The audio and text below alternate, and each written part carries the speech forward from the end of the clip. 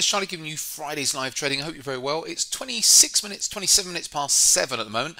I don't get started with the um, uh, the in the uh, the swing trading room for another 15 minutes or so.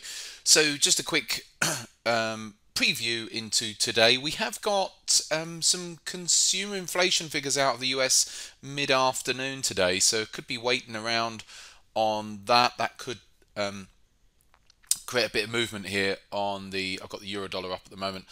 Um, we've seen a nice move up. Not we've all know what's going on, so we've seen a nice move up. Have managed to capture a bit of that, um, but I was already long really from last week, but I've added to it, so we've got a bit going on at the moment. Um, it feels, but you know we'll we'll see how that goes. Um, I'll be looking for um, separate entries today um, on a bit of a pullback. So if we have a pullback day, I will be looking for that. Now that could take into this afternoon, but I'm going to be looking on a, for a pullback into around about, by looks of things, around about 118.60 or so. So it's not too far below where we currently are. Let's have a quick look at the four-hour chart. Um, do, do, do, I think it's going to be the 12-hour chart because on the 12-hour chart we had that nice breakout through the uh, the 12-hour 50 down here, but that, that's way too low, uh, really. Um, so I'm not even going to be looking that low. So um, technically, I'm just going to be using some moving averages, and that's what I'm doing basically out on the daily chart. So I'm estimating at the moment it's going to be around about 118.60 will be an area where I'll be looking to um, to add an entry. So um, that's pretty much it. We know that the pounds had a cracking run as well. Um, over this last week or so. So I'm still looking for um, some more upside. We'll have to see. Um, now the pounds hit that 50-day moving average could certainly have a, a, proper reaction from that over the coming days. Um, but if the pound's doing that, then it's likely the euro will be coming down as well. But anyway, we'll have to see. So certainly um, pounds up against resistance.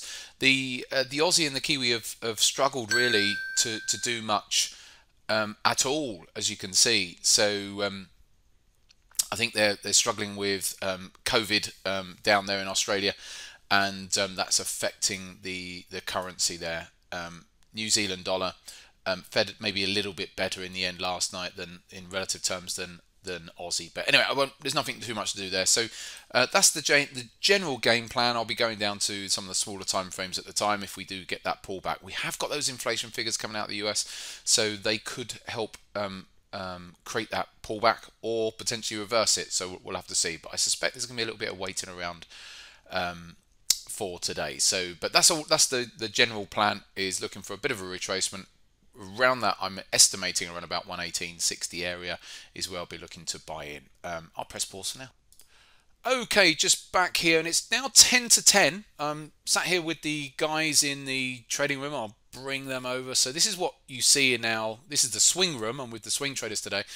So you can see the people along the left-hand side there, and you can see, and then I've got a projector and stuff there as well. And we've got a chat box. I think you can see part of that chat box um, there as well. So you can't see all of it because the the the amount that the screen that I record of the screen is only a small amount. Um, so yeah, I was looking for a pullback here today on the euro. We're not getting it yet. We've just nudged uh, the round number at 119. As you can see, we're sitting at 118. Oh, actually, you can't see that. Ugh, squeeze that back in. There you go. Um, I forget that. See, this is the range. Now you can see everything on this chart. Um, it's a small capture area, you see. So once I'm not recording, I, I make everything bigger again. So yeah, so we've hit 119 as you can see right now, and um, but I was looking for a um, a pullback today, and we haven't got it yet. However, there is those um, uh, inflation figures coming out. The consumer inflation figures coming out at 130 today, so um, we'll see if that produces a pullback. If it doesn't, I'm not going to chase this today. So if I take this to the hourly charts, I'm not going to chase it. Um, uh, I, I want to buy on a pullback. Um, I'm not going to be bothered about trying to chase it in in that regard. So if it carries on going higher, then it will just, as you know, I'm already long, but um, I'll just carry on just holding, and um, and then we'll see. Um, it was only if we'd got a pullback that I'd have bought it today. So anyway, we'll come back to this, I guess, at lunchtime. Okay, just back now. And so we are at 10 to 1. We've got these um, consumer inflation figures coming out at half past one. This is the daily chart still. I'm not fussed about the news per se. I want to use the news to get into a long position. So what I'm actually going to do today is I'm just about to place an order to buy if it comes down. So I'm going to use any weakness on that on those inflation figures uh, to get long because I'm what I'm actually looking for is to see if this euro can ultimately work its way over into next week. It's not going to be a day trade um, because so so rarely that I am day trading these days. Um, so I'd be looking for um, it to come down, and then ultimately I'm looking for price to get to the daily 50, potentially even to the to this channel here. Um, but um, so I'm using that weakness, and then I'll you look at targets beyond that. So it's not going to be uh, a, day trade. Um, I'm not interested in in that. So um, so what am I looking at? So what I'm looking at, I'm just using my um, my short-term moving averages here. I've got a five moving average here. It's crossing, coming up fast underneath price at the moment. Um, and so what I do is sometimes if I want to be aggressive, like at the moment, um, is I'll use that as my my uh, my source. And so it's a bit like when we had this move up here. You can see that price very often, the red moving average here, this 5 MA, um, price will come into that sort of zone and then off it goes again. And I say sort of zone because it's never perfect. It actually came down a little bit further there. But that's what I'm looking at. So I'm never looking at it for an actual touch. Um, if you can see this, uh, yes you can. You can't see off the bottom, can you? But um, you don't need to see that. Um, that is showing at 118.47. Never looking at the actual touch. What I always look at is what's the trajectory of that moving average. What's the trajectory? So I'm looking at where it's the direction it's heading in. So I'm actually looking at not a touch because it won't need to in real time. It, if it comes down to, I, again, this is just comes down to experience, around about 118.60, about where my cursor is, that would be enough. I'm not saying that it can't come lower. I'm just saying that's enough for me to say, yeah, I'll, I'll take that because it could get that low, maybe a bit lower, whatever. And if it is going to turn around again going into later today or next week, that's if it does come down, then um, you'll look back at that and that moving average will have scooped up underneath price. Bit like here through this period here. So let's get the order in. Um, so I'm not bothered about the news itself because if you're swing trading, what does it matter? It's just a piece of news. You know, it's not. It's different if you're day trading with a 10 pip stop, 20 pip stop. That's very different, and then you're more likely going to wait until the news has come out. Um, or if it's something like FOMC or you know a major central bank, then you're more likely going to want to wait for the news to come out to see how the market overall is moving. So, but this one, I think the market's already tipped its hand, hat, not its hand, and so um, and so I still think that there might be a little bit more upside here. So let's get the order in. So I'm going to put this in as a it's a buy limit order, and so I'm going to put that order in at one. 1860 and I'm going to put a stop loss next to that at uh, I'm going to put it down at 117.80 so it's a 60 pip sorry an 80 pip stop loss. So right down here it's not right down at the absolute lows. I'm going to try and get away with a, a stop you know down here. And so and hopefully that's enough um, on a swing basis. So that's an 80 pip stop. So you can sort of guess what my overall target might be. If I get in at sort of 60 or uh, I, I, need it to go to a, a, minimum of 119 well into the mid 119s or towards 120 to make the risk reward work so you can get an idea of what I'd be doing there with that that entry. And we'll just see how it goes over the next couple of weeks um, what what happens in that regards. It could be that the market completely rolls back over and I get stopped out. But the sale of that's trading isn't it? So I've put it in as a half lot. It's 50,000 that's a half lot. Um, on this account with um, I'm basing it on fun enough the, this is the challenge account which has got you know when I last did the update it was around about 50,000 in it so I'm still basing all the trades on a 50,000. It actually I just calculated it and it's saying to put in uh, about an 80,000, so 0.8 um, of a lot. But I've already got a fair few positions in. I don't really need to be too aggressive just yet, so I can just put the uh, the half lot in for now on this one. And so everything's there. Place the order. So we shall see if I'm going to get filled a bit later. So we've got about half an hour to go. Back down to the hourly charts. I was just looking at this hourly chart with the traders. Um, it started to come off. I think it's got the scope to come down.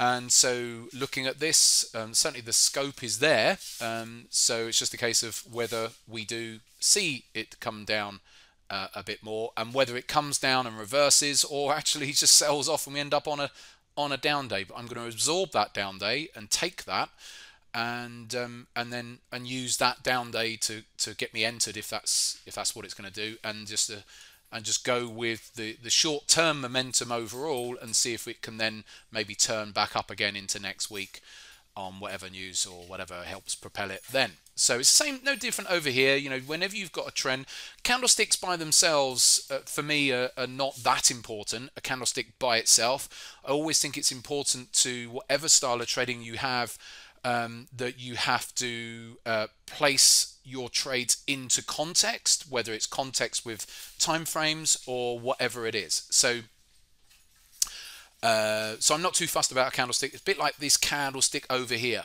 Um, at that point, um, you, you, could have very quick, you could have thought, oh look, we've got a doji candlestick there. That's a real negative, and then all that happens is the market then carries on, end up going higher. So I'm not too fussed about whatever candlestick gets produced today. I'm looking at the bigger, the bigger picture of, of what's gone on there, and I think that, but I do think that the potential is to come down because of that pound dollar and that pound dollar hitting that 50 day moving average if that starts coming down we might see the other currencies pull back a bit as well anyway i'll press pause for now and we'll come back to this Okay, so just back, and uh, the news is out. It's just gone past. Uh, it's 1:35 now, and the the PCE figures came out of the US um, strong, but not quite as strong as expected. 3.7% was expected. The PCE core inflation figure actually came out three and a half. So still a strong figure, but hasn't exactly got the um, a, a, rocket under the um, under the dollar here. This is the euro dollar on the hourly chart now. So um, nothing too very muted here. Just what five minutes or so after the news now. Not really too much going on. So um, no volatility at least anyway. So I would like, as I've said, I'd like to see the euro push down. Um, but as it currently stands, um, it's all fairly muted and, and holding up. Now, if it does come down, great. I can use that as that opportunity to buy, um, but um, it's a, again quite possibly a uh, a positive for the euro and cable and the likes that those figures haven't come out uh, and exceeded, and so um, hence why they're just sort of holding there right now. I'll press pause for now. We'll come back to this later. Okay, just back. It's now three o'clock, just gone three o'clock, and I'm going to call this video a wrap today because we've really not done too much. We can still see that the euro's sitting there around about 118.80. So let's take this to the hourly chart. Since we had that news, um, it's trickled its way down. It has, you know, not really done much at all. So um, as it's turned out, a pretty quiet day there today, and um, the pound. Um, very very similar. So they're consolidating, aren't they? So um, didn't manage to obviously get in. Now I've, now I'm talking. Um, it's trickling down again. Amazing. Literally as I press record, it's just started to come down a little bit, but it's not going to be enough. Like that order's down there at 118.60, so maybe I get filled down there later. But all I've shown you today is my existing trades that I've had this week uh, did have a stop out yesterday, but then it was yesterday, um, and then a, but then another trade which hit, a, which got trading stop for a profit. I think that was yesterday or the day before. So it's not been too much going on this week. Uh, that's where I'm at, and um, couldn't get a, a, a, live trade today. But even if it had have been um, executed, it might be that if it comes down by tonight that I'll get executed. But I might also get this video wrapped up, and um, but even if I had have got filled on that order, then um, uh, you know, I, I would have been holding on to it anyway. There was no no day trades today. Sometimes I'll look at the markets and it's pure luck. Bearing in mind, I only do these videos once every two weeks, and it's pure luck on the day whether there is any day trading for me because I don't really day trade myself much these days. But now and again, if if if the market is ripe for it and the intraday patterns are ripe for it, then I might do. Otherwise, I'm more usually more interested in um, identifying a you know a swing trading opportunity. Anyway, uh, that's it for today's video, and I'll leave you to it. Enjoy your weekends, and um, I'll see you next week.